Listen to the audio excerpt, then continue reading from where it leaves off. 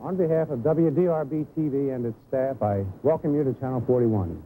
25 years ago, Louisville's first new commercial television station in almost a decade signed on the air.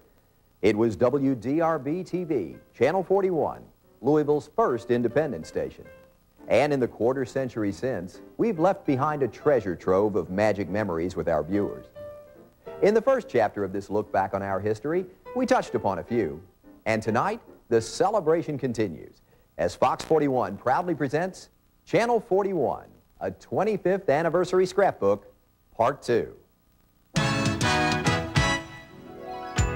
Welcome to Channel 41, a silver anniversary scrapbook, a celebration of a quarter century of broadcasting history at WDRB TV. And now, here's your host, Ray Foushee. Having existed for so long as an independent station, WDRB TV has always had to be just a little more innovative than the other guys in town. Until 1986, when we hooked up with the brand new Fox network, we didn't have a network to rely on for programs, and that meant it was up to us to come up with the shows you'd like to watch from sign on in the morning until sign off after midnight. This usually meant acquiring off-network syndicated series which over the years have included everything from Gilligan's Island to the Jeffersons, from Lost in Space to Cheers. Our independent status also meant that we wound up airing several syndicated specials, some of which could be pretty strange. For example, remember this one from 1986? This concrete wall is 22 inches thick. Behind it could be the treasures of a criminal empire or the bodies of Al Capone's enemies. Scarface Al left behind a legacy of secrets, like hidden stairways and mysterious tunnels in this massive concrete vault. It may be Scarface Al Capone's biggest secret, and we'll open it on live television. It happens Monday, April 21st on TV 41. It happened all right, but not much happened. In case you don't remember it, about the only thing Geraldo came up with when they broke into the vault was a couple of old empty bottles. But we still hit pay dirt with one of our highest primetime ratings ever. But aside from syndication, WDRB also developed many of its most successful programs from scratch. For example, there were our nightly primetime movies, featuring one of Louisville's most popular TV personalities as our studio host. Hi, everybody. I'm Angie Humphrey Davidson with your Tuesday night movie on WDRB. And that was my pal Merlin to help me introduce a Disney flick about a very unusual cat, just like you, Merlin. Now, you may notice some... Then there was the time we gave you the chance to vote on the then hot issue of whether or not to colorize old black and white movies. We'd obtained from Turner uh, Yankee Doodle Dandy, which they had colorized. And we put it on uh, in a segment, four segments. We started out with the first segment being in black and white, then we went to a second segment in color, then back to a third segment in black and white, and a fourth segment in color. And we had um, we conducted a poll on the air as we were doing this, and we had operators in the studio taking phone calls, and we conducted this poll to find out what uh, the audience, which the audience preferred, the original black and white version or the colorized version. And we received, as I can recall, I was out of town at the time, but I, uh, the report that I got when I returned was that we had over a thousand telephone calls, and it was split 50-50. But it did get a lot of attention, the fact that we tried something like this. But perhaps the most memorable local programming idea ever tried on Channel 41 was the ultimate exercise in nostalgia. Good evening and welcome to another edition of TV as it used to be, a nostalgic evening of great entertainment from the golden age of television. Now here's your host, TV 41's Ray Foushee.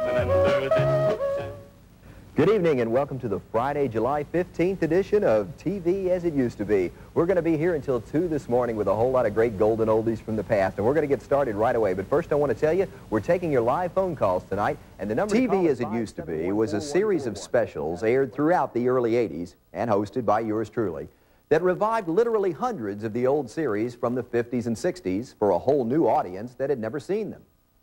Now, remember, this was before the advent of Nick at Nite, and viewers just couldn't get enough of these interesting looks at today's celebrities before they hit it big. I'm a member of the aristocracy. Oh, come on, Ash, lay off. Who isn't a proper young lady? How about letting me decide that? Maybe I'll just go into my office. Watch television for an hour or so. Come on out or I'll kill you. Well, what's he doing over there? The only account you'll get from me is this. I don't know who you are, but I could get kind of tired of you. More often than not, WDRB presented TV as it used to be as a live late-night program, inviting viewers to call in with questions and comments between shows. And even though we often stayed on the air until 3 or 4 in the morning, I can tell you the phone line stayed lit constantly with calls from couch potatoes who just couldn't get enough of that good old black and white video. You get the idea. If there was any way we could put an unusual twist on a programming idea, we did it. And people seemed to like it. Channel 41 got a reputation as a station that was willing to try the unconventional. Of course, every once in a while, that approach could backfire. He's still not ready for prime time, but he's coming to late night this fall on Fox.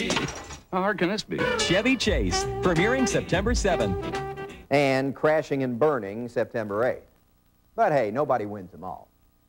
But speaking of winners, we've presented more than our share here at WDRB through our extensive sports coverage over the years, and we'll be back to talk about that right after this. Channel 41, a silver anniversary scrapbook, is brought to you in part by Bell South, Louisville's telecommunications leader, and by Taco Bell, across the border. Stay tuned for more magic memories as the birthday celebration continues following these messages.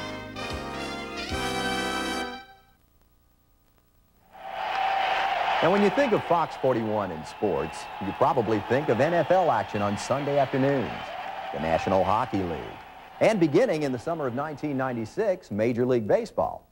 Pretty big names. But in the very earliest days of Channel 41, our sports selection was, well, a little bit more limited. But you know what? I'll bet if you were around back then, you still remember some of these guys. Frazier whips him across the ring. Oh, 460 pounds of it. Frazier pounds out. One, two, three, he got him. No, it may not have been the NFL, but WDRB's weekly wrestling shows were a huge hit with our audience, who tuned in religiously to see what would happen next with Tojo Yamamoto, Jerry Jarrett, and the Green Brothers. And they paved the way for all the other sports to follow. It wasn't long before Channel 41 became the Louisville television home of the Cincinnati Reds, one of Major League Baseball's most successful franchises. In 1982, we became the first station to televise Louisville Redbirds games, capitalizing on the incredible popularity of the team that brought baseball back to Louisville after a 10-year absence. Indiana University basketball had a home here as well, giving area viewers the chance to follow Coach Bobby Knight and his Hoosiers on the march to national championships in 1976, 1981, and 1987. But in 1985, Channel 41 embarked on its most ambitious sports project to date when we went into partnership with the University of Louisville to produce the most comprehensive package of football and basketball telecasts in addition to such programs as the Coaches Shows and Louisville Today, the sports page, in the nation.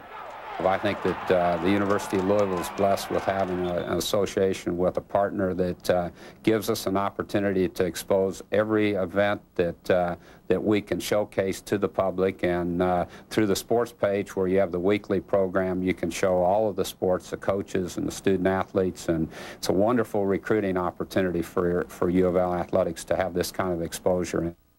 The basketball Cardinals came through with their second national title in that very first season and Channel 41 was on hand in Freedom Hall when they returned to town to be honored on our live special, A Cardinal Celebration.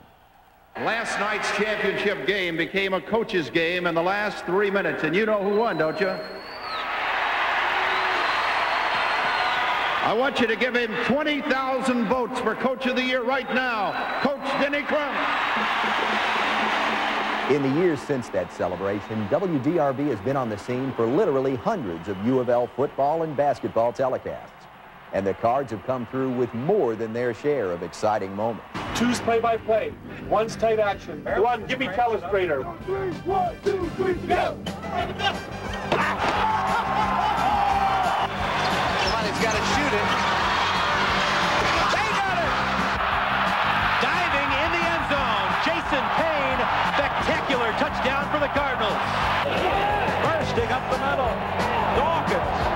Four.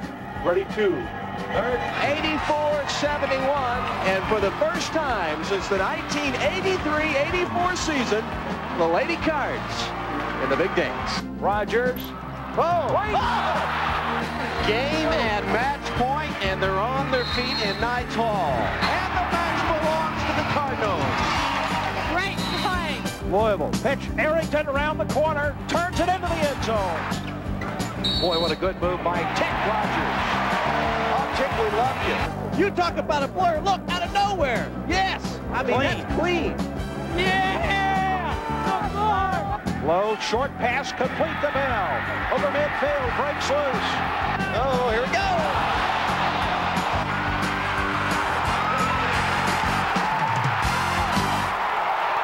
The Cardinals, the Hoosiers, the Reds, the Redbirds, and yes, even the great tag teams of the past and present.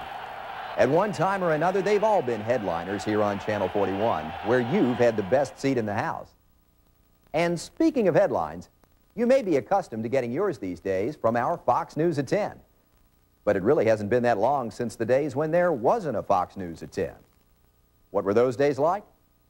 Stick around, and we'll tell you all about them.